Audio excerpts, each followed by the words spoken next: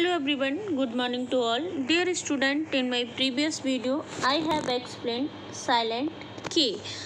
मैंने previous video में आपको एक्सप्लेन किया था कि साइलेंट के अगर एन से पहले के आता है तो के की कोई खुद की साउंड नहीं होती है जैसे नाइफ और नॉट तो इसमें के साइलेंट होता है इसी तरह से अब हम नेक्स्ट लेटर पढ़ेंगे silent B the letter B is silent when it sits next to the letters M और टी मीन्स अगर लेटर बी के नेक्स्ट में टी और एम आता है तो बी की खुद की कोई साउंड नहीं होती बी साइलेंट होती है। जैसे डाउट डाउट वर्ड में बी के बाद में टी है तो इसलिए इसमें बी की कोई भी साउंड नहीं है, यानी बी साइलेंट है।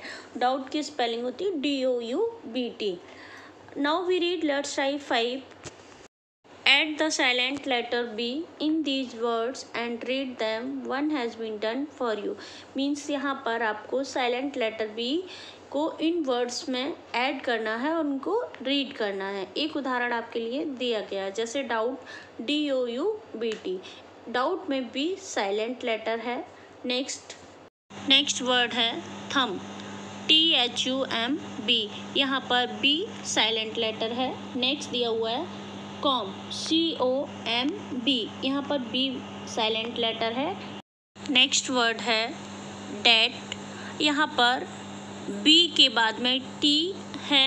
तब यहाँ पर बी साइलेंट लेटर है। यहाँ बी को प्रोनाउंशिएट नहीं करती हैं। बी साइलेंट लेटर में है, debt. D E B T इसको हम डेट प्रोनाउंशिएट करते हैं। नेक्स्ट वर्ड है lamb L A M B इस वर्ड में भी बी साइलेंट लेटर है। नेक्स्ट है numb N U M B इस वर्ड में भी बी साइलेंट लेटर है। नेक्स्ट वर्ड है नेक्स्ट वर्ड है climb C L I M B इस वर्ड में भी बी साइलेंट लेटर है. हम इसे क्लाइम प्रोनाउंसिएट करते हैं.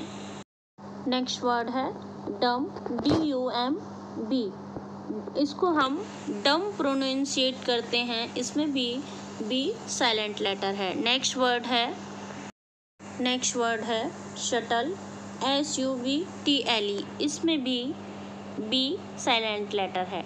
नेक्स्ट वर्ड है limb, L I M B. Limb इसको प्रोनाउंसिएट करते हैं। इस वर्ड में भी बी साइलेंट लेटर है।